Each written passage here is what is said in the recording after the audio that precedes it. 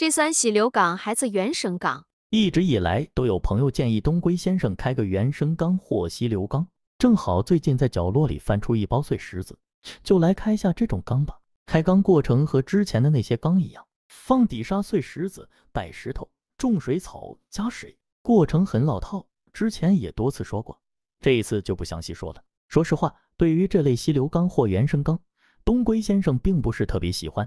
这种缸比较适合有过滤器的情况，放上碎石子和造景石头，再少点缀一两颗水草，到视频中这一步加上水就差不多了，比较有意境。然而，作为无过滤的三无古法生态缸，必须要使用大量水草植物来净化水质，同时也需要底沙吸附能力强，以此来沉淀水中颗粒物，使水质清澈。同时能高效培菌，分解食物残渣和鱼虾粪便。从这两个关键点来说，这种溪流缸或原生缸一条也不占。比如刚才没种水草时，看起来还挺有感觉的，但种上大量水草以后，效果反而差了。再说底沙，这种碎石子没有孔隙，吸附能力很差，同时堆在一起也很致密，透气性差。东归先生可以预计，底沙很快就会因缺氧而变黑变臭。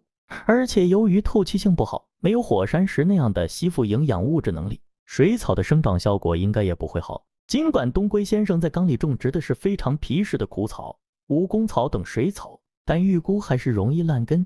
虽然这种缸不适合三无古法生态缸，但东龟先生还是决定开一个，主要是基于以下目的：养出一个黄水缸，然后看看利用生态方法能不能除黄水。因为这个问题也经常有朋友问到。所以大家能看到，东龟先生在缸里放入了树枝，除此之外，还从乌龟缸里捞了一些龙眼叶放里面。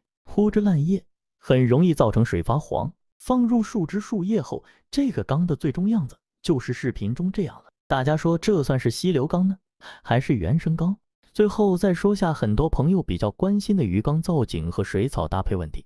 这个问题经常有人问，但说实话，这是东龟先生不擅长的地方。毕竟不是每个人都有大量的艺术细菌，而且造景本身就是因人而异的事情。有人喜欢城市化、标准化的东西，而有人喜欢随心所欲，只要自己高兴就成。所以在造景这块，东龟先生并不擅长，给不了大家太多建议，只能说方法有了，大家自己发挥吧。东龟先生制作，谢谢观看，古法低成本，关注东龟先生有干货。